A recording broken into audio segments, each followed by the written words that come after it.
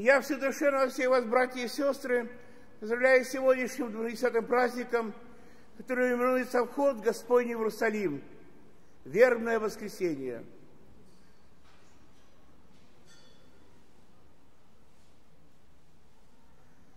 Давайте мысленно принесемся в те далекие времена, когда на нашей земле жил Христос, чтобы изнутри те дней понять, почувствовать, пережить величие сегодняшнего торжества. Пойдем по древним улицам узкого Иерусалима, улочкам, среди его учеников,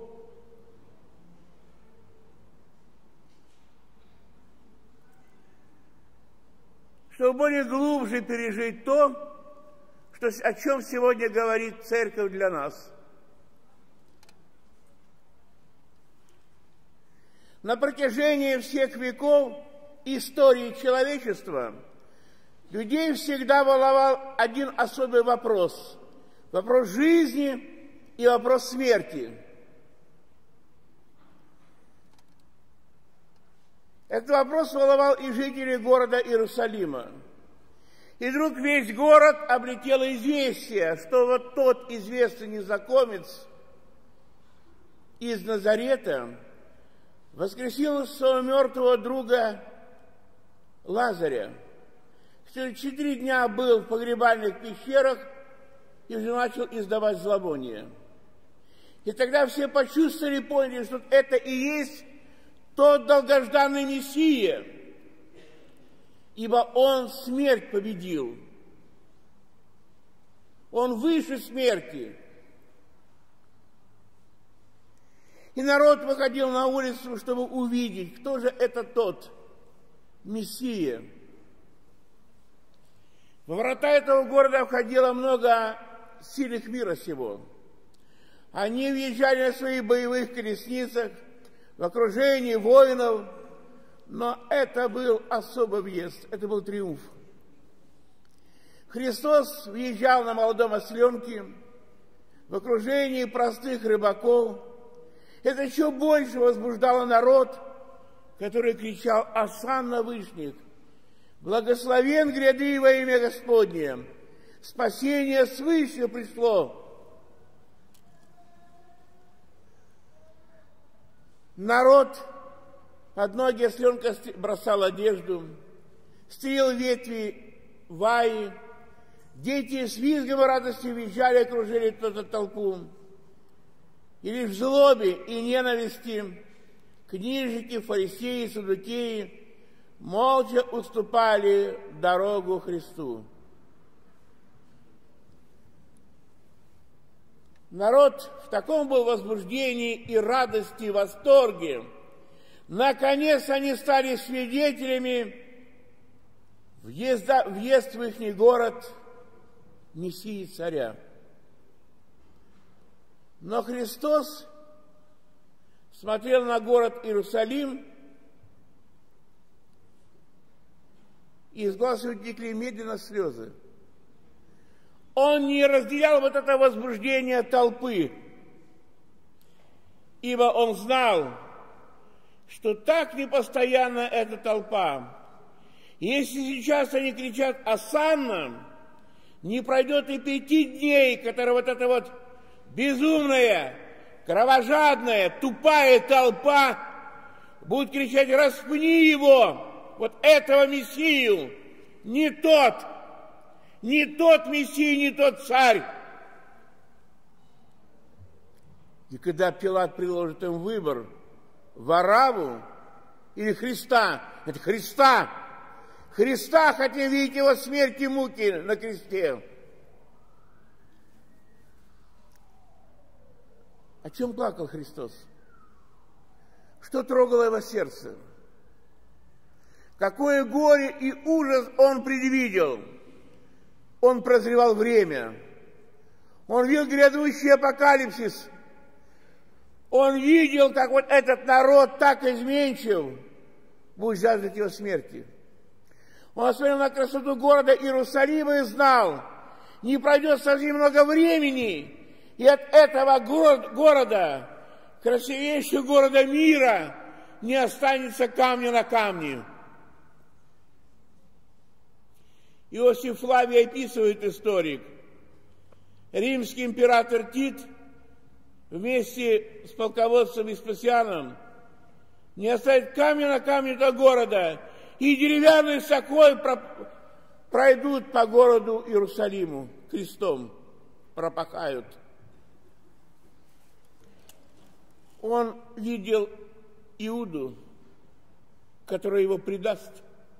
А сколько таких Иуд за 20 веков будут предавать лучших сынов и дочерей этого мира. Он видел, как Пилат будет мать руки.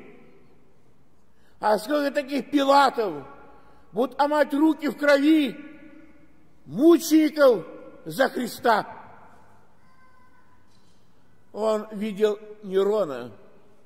А сколько таких тиранов Неронов, миллионы будут уничтожать лучших сынов дочерей этой жизни, этого мира.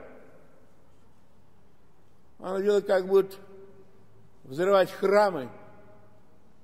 И это вот камни, распадающие, будут оседать на дух и души нации.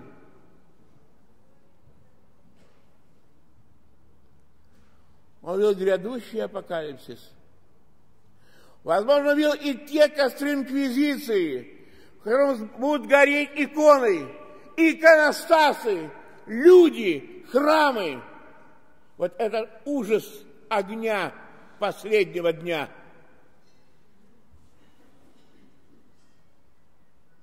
Христос шел умирать, чтобы даровать нам жизнь. Христос хотел, чтобы вот последнее дыхание на кресте вдохнуло легкие воздух вечности в легкие этого мира. Пройдет совсем немного времени, Гефсимания, суд, крест, Голгофа. Он видел все это, сколько таких его подвижников и последователей будет брать на себя свой крест и нести на свою Голгофу. Завтра начинается Страстная Седмица.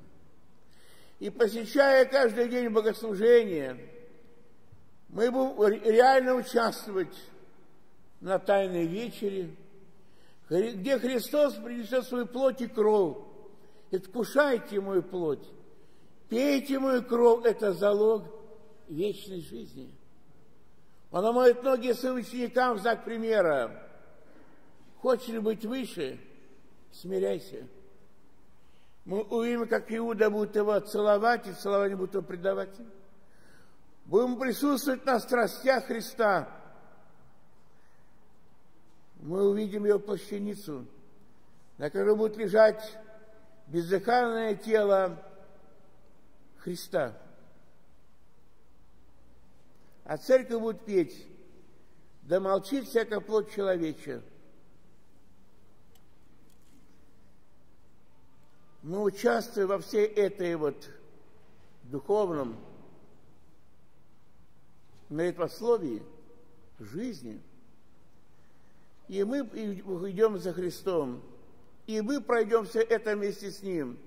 Но и вместе с Ним зайдем на свой крест и на свою Голгофу. И вот только с этого самого ужаса мы можем вкусить радость светлого Христова воскресения – и быть причастниками вечной трапезы на брачном пире Царства Небесного. Аминь. Я всех поздравляю с праздником.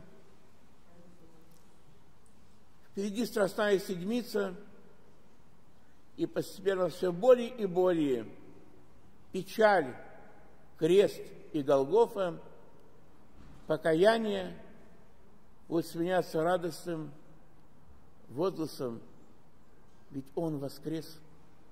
А значит, и мы вместе с Ним воскреснем. Будьте все, все Богом хранимы. Все, кто причащался, желаю всем душевного спасения, телесного здравия, мудрости. Где бы мы ни были, чем бы мы ни занимались, какой бы ни вели образ жизни, никогда не будем забывать, что мы верующие люди – что мы должны быть такими христианами, чтобы люди видели не нашу внешнюю оболочку, а живого Христа в живом нашем сердце, живым нашим образом жизни.